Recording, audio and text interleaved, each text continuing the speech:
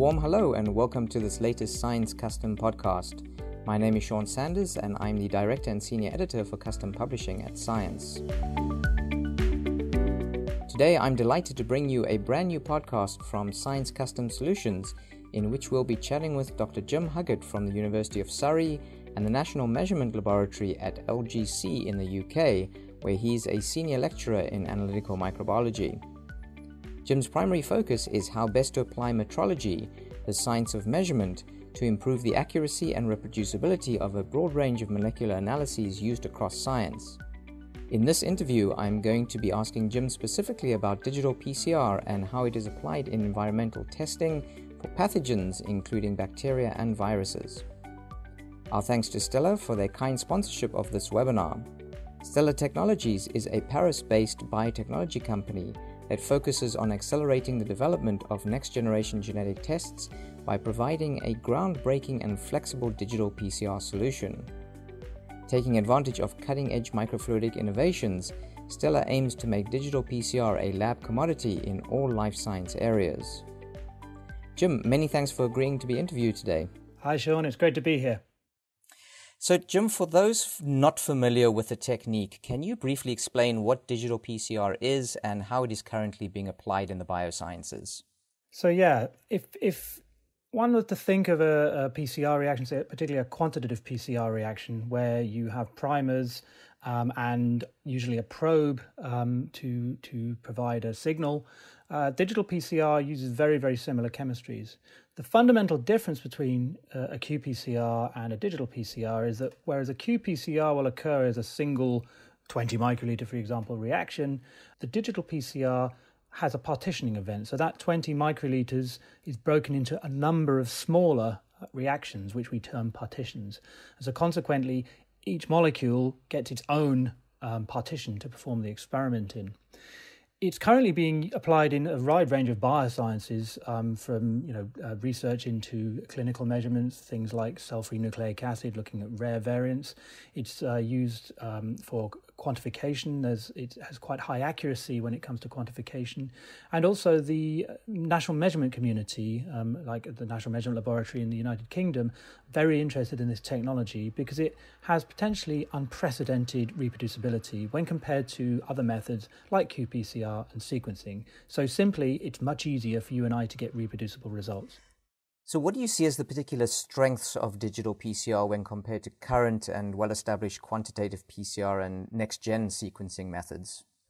So, if we split those two techniques and compare them individually, so first of all, the qPCR uh, is used world over. It's established for a variety of areas of um, research and, and application, routine applications.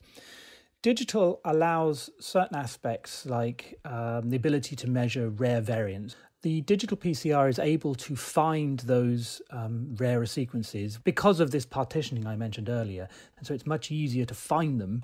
Uh, whereas in a qPCR reaction, the uh, assays may pick up the wild type. It's a much reduced efficiency, but because the wild type sequence is predominant, it can be it can hide essentially the signal. Digital PCR is also potentially much more precise than qPCR, whereas a qPCR's precision to quantify the abundances is dependent on a number of things, including the efficiency of the experiment, which can vary with assays and also from, from run to run digital precision is is determined by the random distribution of the molecules, and essentially it follows this um, very very predictable distribution. And because it has a a higher precision, or it can measure a smaller difference than qPCR, it has potentially useful roles in measuring genome copy number and instabilities, also perhaps in, in things like cancer or, or looking at copy number variations elsewhere. The digital PCR also has the ability to measure um, linkage uh, in a way that is difficult for qPCR because the DNA molecules will partition. They will end up in different partitions in a generally a random distribution. However, when two molecules are linked in cis, such as in a haplotype or where you might have viral integration into a genome, those molecules will pair and they'll occur together in the same partition. And so this can be used to predict where the molecules are linked. And then another area that's particularly of interest to uh, myself working in, in, in measurement research is this high reproducibility. When compared to sequencing, some of those men- those advantages I mentioned, like rare variant detection, some of the sequencing strategies can also do that, and so potentially are of preference when looking at rare variants because you can measure more rare variants with sequencing. But the digital is is conceptually much simpler to perform, whereas you know sequencing has advantages beyond you know huge huge potential. Uh, there's algorithms involved in trying to analyze those sequences and, and, and you know the expertise and, and, software that's needed for that, and also the uh, the upstream steps to prepare um, the sequences for a sequencing run, depending on what method you're looking at, can also add complexity and um, and what we call measurement uncertainty when we're looking at measurements. What do you think might be some of the new or future applications or possible fields of application for digital PCR? So it largely depends, I guess, on how the methodology is developed. But I predict that, you know, as the technology is developed and advanced, um, this ability, this this ability to measure with potentially higher reproducibility, higher accuracy, will will mean that digital PCR becomes an increasing um, uh, advantage because it'll be easier for us to get more comparable results. The qPCR has a potential problem with its output, the the um, quantification cycle or cycle threshold or crossing point, depending on who, who you are and what metric you use, in that it is it is quite a precise measure, but it is highly arbitrary and can vary when the same person measures the same experiment. And so this this really causes issues with reproducibility of qPCR, which requires calibration. So I think this would be a major advantage as we go go forward. An example would be perhaps in the use of PCR based methods for near patient or point of care testing. It's much simpler for a less well trained individual to look at whether um, a, a, reaction has, has performed well or not. The, the digital output is, tends to be less ambiguous um, than a, a qPCR output that may be uh, not not so clear, which which is both beneficial potentially to less well trained individuals, but also software algorithms. So, you know, I think you know that that kind of automation will will add, uh, add advantages when when we when we look to the future. There seem to be a lot of molecular technologies that are moving towards multiplexing. So, uh, regarding the current efforts to increase the number of detection channels in digital PCR systems to enable uh, target or assay multiplexing. How important do you see this development, and what do you think is the optimal number of channels necessary to support today's multiplex studies? That's a good question. I, the answer is how long is a piece of string? We would say in the UK. um, it, it, largely depends, I guess, on on what the needs are of the individual laboratories and why they need multiplexing. So if we compare um, with qPCR, people will multiplex with qPCR, and, and depending on the format, can get very high multiplexing. Um, but to multiplex to end is quite it's quite challenging from an optimization point of view. Um, we've certainly found that with digital, it's much easier to optimize multiplex um, uh, reactions. When it comes to increasing multiplex, the trick will be in the ability to and the software to analyze them. So you know it, it's quite quite comparatively easy with digital PCR to look at a twoplex by eye, and you can see what's going on. Well, as you get up to five or six, um, you know, um, fluorescent channels, then it, you cannot do that by eye. Well, I certainly couldn't do that by eye. So it, it, depends on how the software algorithms are going to be able to analyze that. But I see no reason why why they wouldn't be able to. And so there's a lot of potential there. And again, why would you know when you compare that with sequencing? Well, you know your next generation sequencing is a completely different level of multiplexing and and um, I say this carefully. I don't see PCR based strategies ever going to be able to compete with that from the point of view of the number of targets you can measure. But obviously, there may be automation, there may be cost benefits, there may be simplicities that the PCR based strategies give you that the other methods don't, and which digital would be uh, ideally positioned. Jim, we're talking uh, towards the end of May 2020, and on everyone's mind is the novel coronavirus, SARS CoV 2. Uh, how are scientists currently applying digital PCR to test for this virus? So, there have been a number of publications um, which have looked at SARS CoV 2 and, and how digital PCR may be applied and compared it with qPCR and have shown that it works better and it's more accurate. And I'm very wary of those, those some of those publications because you will have a lab that's really carefully working with digital PCR, comparing with measurements that are being made with qPCR in an incredibly stressful time with labs that are under resourced and, and just basically desperately trying to keep up. So I would be very cautious at the stage with regarding the fact that you know the digital PCR could be a better method for the diagnosis of SARS-CoV-2, which some are claiming um, for several reasons. The initial one really being in that the PCR is only able to measure the, the nucleic acid you get into the experiment.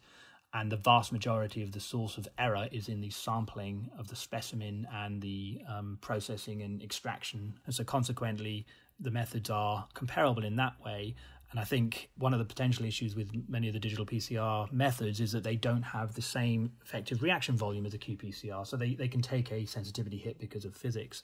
The method is, however, having a really useful role in supporting the accuracy of measurements. Now, I touched on this earlier, but the digital PCR has a potential to be, be highly accurate in a way that qPCR cannot be. Because for qPCR to be accurate, by which I mean to be quantifying the number of copies of RNA that are present with a level of accuracy, it needs to be calibrated. And this has been shown previously with other like viruses like influenza or, or respiratory syncytial virus.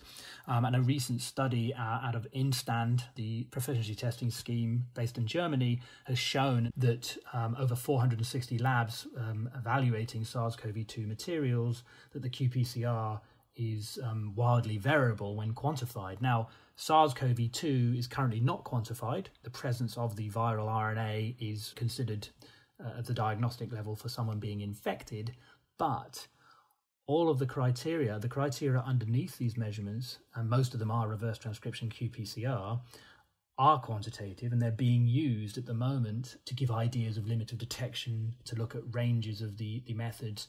And the output signal, the quantification cycle or CT that is used for qPCR, is being used as this value that can be compared. This is a mistake because the, the CT value or CQ value is, is, is arbitrary and can vary within, well, certainly the Instand um, data shows without calibration, it can vary by a factor of over 100,000 fold and even when it's calibrated without a harmonization, a global harmonization, like the, the type of thing that's provided by the WHO for things like HIV, it will vary by a thousandfold.